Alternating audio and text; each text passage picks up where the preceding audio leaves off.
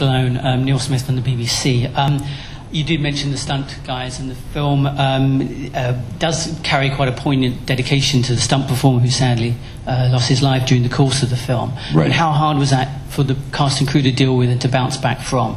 It was incredibly hard, especially the members of the of the stunt team. They took it very, very hard and shut down for quite a while, and uh, it's still something they're going through. Um, it's it's happened twice before in films I've been on, and it's never easy. So it's it's just ongoing. Sorry. But Arnold, you, you said yourself that you've been out of acting for a while. Some might say that there are a lot of parallels between acting and politics. What parallels have you found?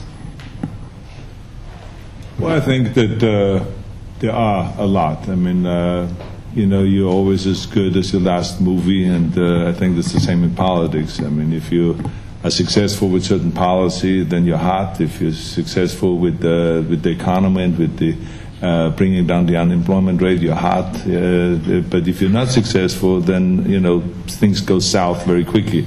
And um, uh, I think that uh, in uh, you know, uh, communication and how to, uh, you know, talk to the people. It's the same as in show business. I mean, in acting class, they talk to you always about, uh, you know, that you have to be real.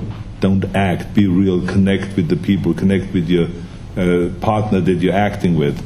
And uh, the same is also in, in politics. In politics, you have to connect with the people. There's some politicians that talk like they're talking to a wall, um, and they cannot penetrate.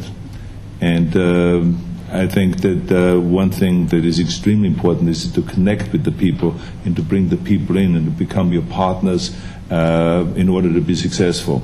Uh, so there's a, a lot of similarities, but then there's a lot of differences also.